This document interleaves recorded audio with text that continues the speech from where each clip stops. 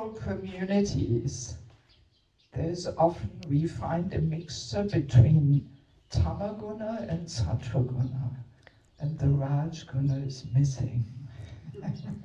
V těch, v těch vesnických komunitách, tak tam je často takový mix uh, tamoguny a satvaguny a chybí tam ta rajaguna.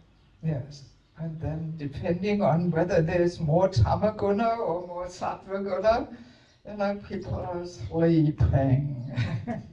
Záleží, jestli je tam víc ty tamoguny nebo satvaguny a lidi takhle spějí. this is actually going on in all rural communities all around the world. A takhle to ve skutečnosti chodí ve všech vesnických komunitách všude po světě. I know communities, there's only two people at the Mongavari. V některých komunitách tak jsou jenom dva lidi na Mangalárati a někdy vůbec nikdo. Takže, takže my si nevedeme zas tak špatně. Okay, so let us turn to the Srimad Bhagavatam. So we're reading from Canto 3, chapter 30, verse number 10. Čteme uh, ze zpěvu třetího kapitola 30. verš číslo 10. Yes, verse is not written up. No.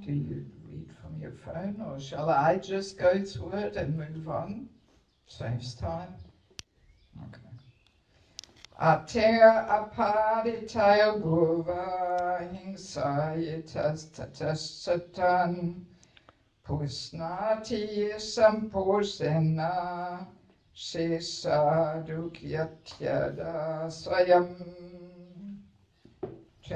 by Srila Prabhupada. He secures money by committing violence here and there. And although he employs it in the service of his family, he himself eats only a little portion of the food thus purchased. And he goes to hell for those for whom he earned the money in such an irregular way. Obstarává peníze s použitím příležitostného násilí. A přestože slouží své rodině, sám jí pouze malou část jídla, které takto nakoupil. Kvůli těm, pro něž takovým podvodným způsobem vydělával peníze, se dostává do pekla. Purport. There's a Bengali proverb. The person for whom I have stolen accuses me of being a thief. The family members for whom an attached person acts in so many criminal ways are never satisfied. In illusion, an attached person serves such family members, and by serving them, he is destined to enter into a hellish condition of life. For example, a thief steals something to maintain his family, and he is caught and imprisoned. This is the sum and substance of material existence attach- and attachment to material society, friendship, and love. Although an attached family man is always engaged in getting money by hook or by crook for the maintenance of his family, he cannot enjoy more than what he could consume even without such criminal activities. A man who eats eight ounces of foodstuffs might have to maintain a big family and earn money by, by any means to support that family. But he himself is not offered more than what he can eat. And sometimes he eats the remnants that are left after his family members are fed. Even by earning money by unfair means, he cannot enjoy life for himself. That is called the covering illusion of Maya. The process of illusory service to society, country, and community is exactly the same everywhere. The same principle is applicable even to big national leaders. A national leader who is very great in serving his country is sometimes killed by his countrymen because of irregular service. In other words, one cannot satisfy his dependents by this illusory service, although one cannot get out of the service because servant is his constitutional position. A living entity is constitutionally part and parcel of the Supreme Being. But he forgets that he has to render service to, to the Supreme Being and diverts his attention to serving others. This is called Maya. By serving others, he falsely thinks that he is master. The head of a family thinks of himself as the master of the family, or the leader of a nation thinks of himself as the master of the nation, whereas actually he is serving, and by serving Maya, he is gradually going to hell. Therefore, a sane man should come to the point of Krishna consciousness and engage in the service of the Supreme Lord, applying his whole life, all of his wealth, his en- entire intelligence, and his full power of speaking. Význam. Jedno bengalské přísloví říká, ten, pro koho jsem kradl, mě viní jako zloděje. Rodinní příslušníci, kvůli kterým se připoutaný člověk chová jako zločinec, nejsou nikdy spokojení. Pod vlivem iluze jim slouží a tím se odsuzuje k životu v pekle. Například zloděj něco ukradne pro svoji rodinu, ale je dopaden a uvězněn. To je podstata hmotné existence a připoutanosti k hmotné společnosti, přátelství a lásce. Přestože připoutaný otec neustále a za každou cenu vydělává peníze pro udržování své rodiny, nemůže si užívat víc, než kolik by mohl i bez takového zločinného jednání. Člověk, který sní čtvrt kila potravy, se musí starat o velkou rodinu a jakýmkoliv způsobem vydělat peníze na její podporu. Ale sám nedostane víc, než kolik sní. A někdy dojídá i zbytky po členech své rodiny. Ani když vydělá peníze nepoctivě, nemůže si sám užívat života. Tak působí zahalující vliv máji. Iluzorní služba určitému spolku, zemi či společnosti vypadá všude přesně stejně. A to též platí i pro velké vůdce národů. Vůdce národa, který prokazuje velikou službu své zemi, někdy jeho krajené zabíjí, protože jeho služba neodpovídala jejich představám. Člověk, který touto iluzorní službou nikdy neuspokojí osoby, které na něm závisí, i když se službou nemůže přestat, protože být služebníkem je jeho přirozené postavení.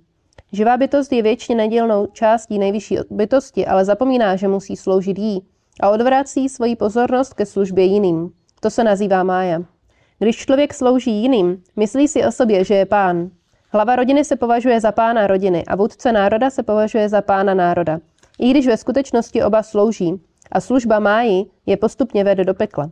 Rozumný člověk by měl proto dojít na úroveň vědomí Krišny a zapojit se do služby nejvyššímu pánu s nasazením celého života, všeho svého bohatství, veškeré inteligence a schopnosti mluvit. Okay, so here we have Kapila describing what materialistic family life is all about. And basic, oh, sorry, I forgot. Takže tady máme Kapila Devu, který popisuje, jak materialistický život vypadá. And basically, the essence is that even though, you know, in material family life, we try so hard to serve our family members, Tak v, v takové stručnosti je to, že i když se snažíme v hmotném životě takhle sloužit těm eh, rodinným příslušníkům, but because of ignorance, we often engage in, um, yeah, in sinful activities, basically. ale kvůli nevědomosti tak se zaměstnáváme hříšnými činnostmi. We earn our income in not so recommended ways. Vyděláváme peníze nepříliš doporučeným způsobem.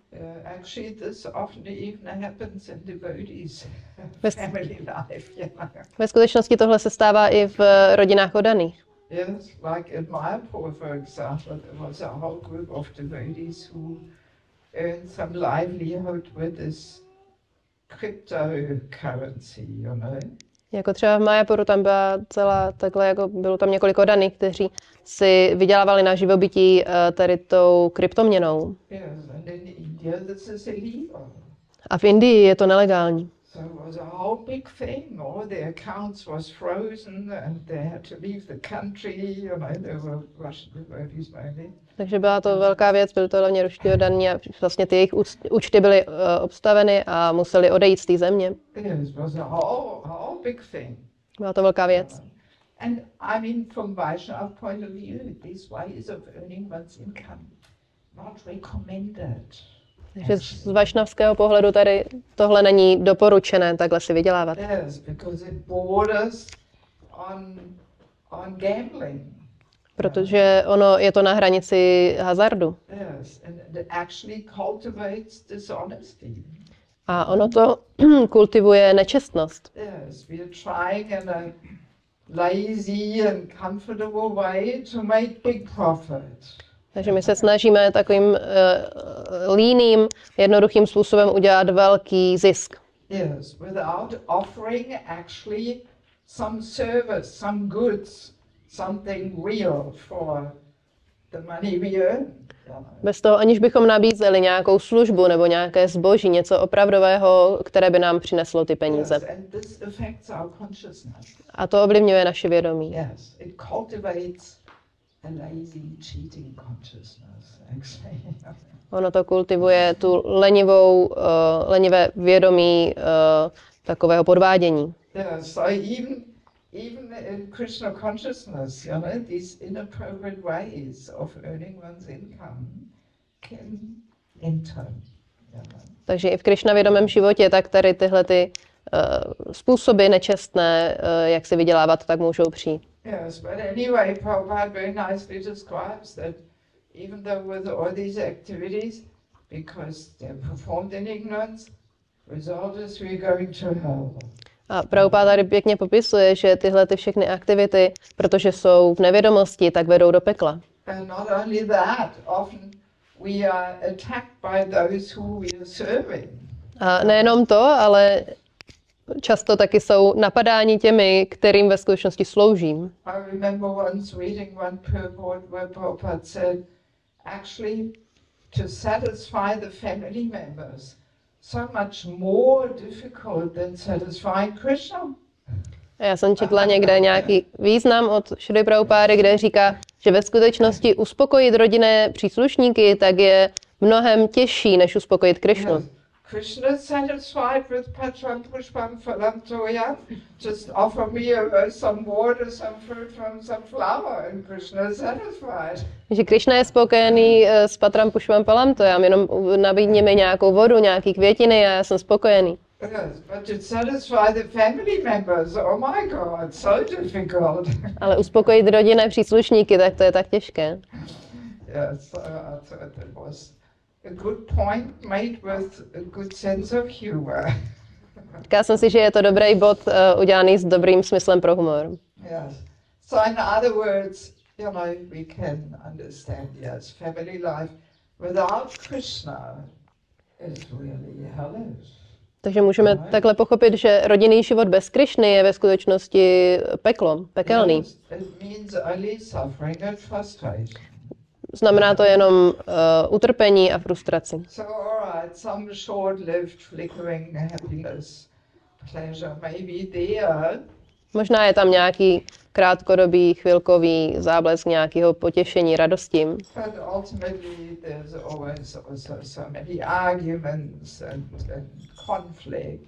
ale obecně je tam tolik hádek a konfliktů. And even if the relationship is all harmonious and nice, well, sooner or later that will come.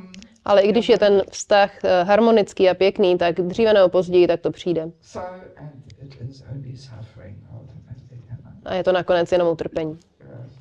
Actually, there is so many nice statements in the Bhagavatam about the uselessness of engaging in material activities. you know. V skutečnosti v Bhagavatamu je spoustu pěkných veršů o tom, jak zbytečné je zaměstnávat se v hmotných činnostech. Yes. In 6152, Prabhupada says so nicely. V 6.1.52 tak Prabhupád říká moc hezky. He says he is like a silkworm that uses his own saliva to create a cocoon. Je to jako ten červ, eh, který vytváří to hedvábí a dělá si z těch vláken svůj vlastní, jako ten kokon. And then he becomes trapped in it without a possibility of getting out. A potom se tam vlastně jako zůstane za, za, uvězněný bez toho, aniž by měl možnost víc z toho kokonu. Nice analogy, right? Je to moc hezký přirovnání. That's what really people do, creating a whole cocoon with their own saliva, through their own activities. To je opravdu to, co jako ty lidi dělají. Oni vytváří si tady tenhle ten kokon, který vlastně vytváří z těch uh, aktivit, uh, jako těch vláken a zůstanou tam úplně uvěznění.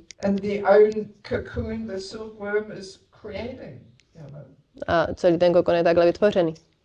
Or there's also sometimes Prabhupada gives the example of a fly getting caught in the spider web. Nebo někdy Prabhupada dává tady to uh, přirovnání, když eh, moucha letí uh, do té pavučiny And then the more the fly tries to release itself, the more it gets entangled.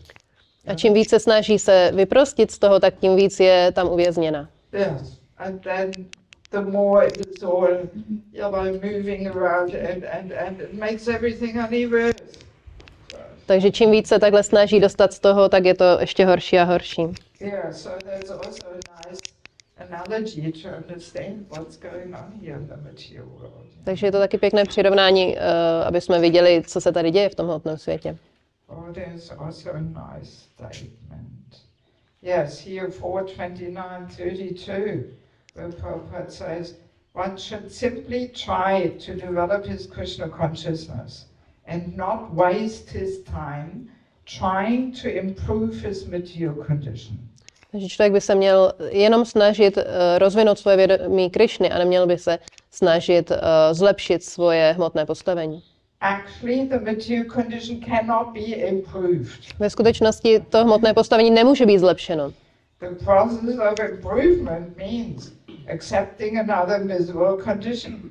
To, že ten proces jako toho vylepšení té hmotné pozice znamená eh, přijmout zase nějakou jinou uh, špatnou pozici. Yes.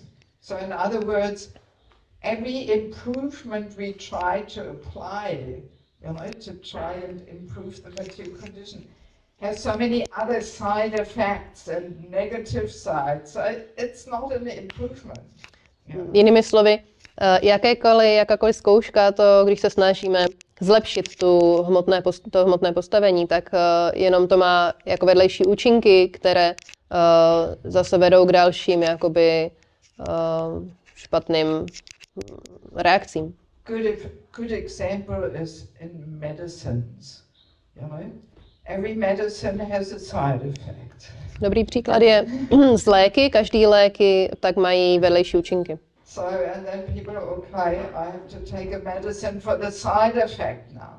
A potom oni musí brát zase další léky na ty vedlejší účinky. But that medicine also has a side effect. Ale tenhle lék má taky vedlejší So účinek. then we have to take a third medicine to counteract that side effect. Takže musíme vzít třetí lék, který zase uh, léčí tady tenhle ten vedlejší efekt.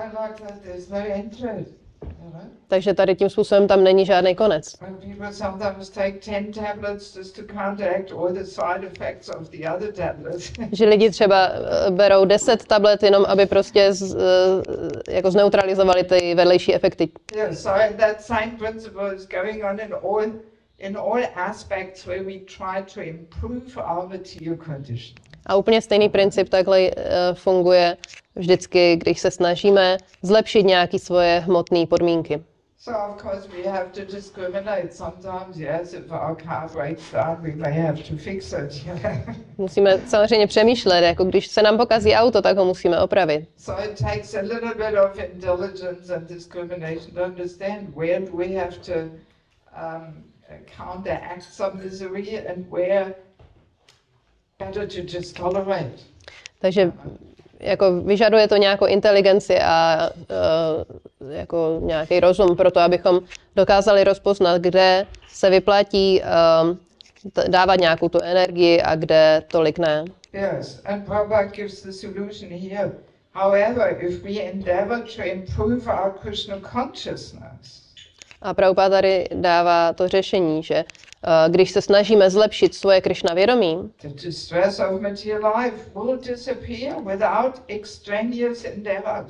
tak ten, eh, to ne- neštěstí z toho hmotného života, tak ono zmizí bez toho, aniž bychom se o to museli snažit.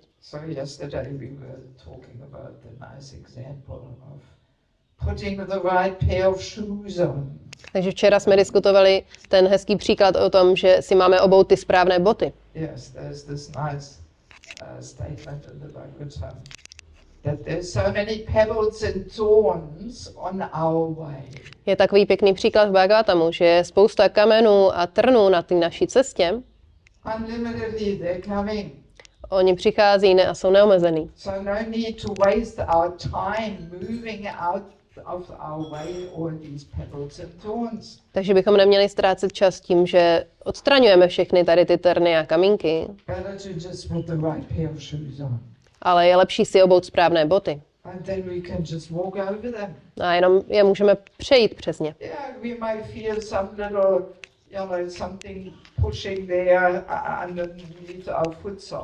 My můžeme eh, cítit pod tou podrážkou, že tam něco jako je, but we can just walk over it. ale můžeme to přejít.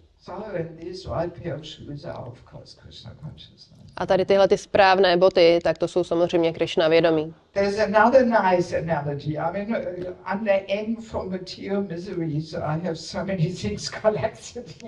Já jsem jako pozbírala tolik veršů, je tady spousta různých příkladů, eh, co se týká toho ne- nepohodlí, toho eh, jako neštěstí toho hmotného života. But yes, actually, the next verse of what we just read is the following one. A ve skutečnosti ten eh, verš, který jsme teďka četli, tak je ten následující. A man may carry a burden on his head, Člověk může eh, na svý hlavě nést nějakou zátěž. and when he feels it to be too heavy, he sometimes gives relief to his head by putting the burden on his shoulder.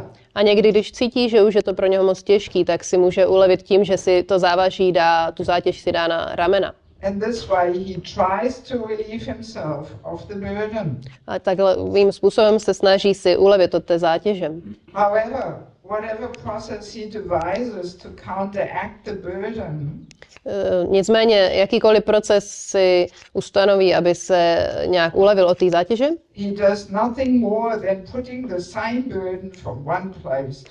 tak nedělá nic jiného, než stejnou zátěž si pokládat jenom na jiný místa těla. So it's also a nice analogy. Takže je to taky pěkné přirovnání. All right, you can put it from the head to one shoulder to another shoulder, but you're gonna have to carry the burden.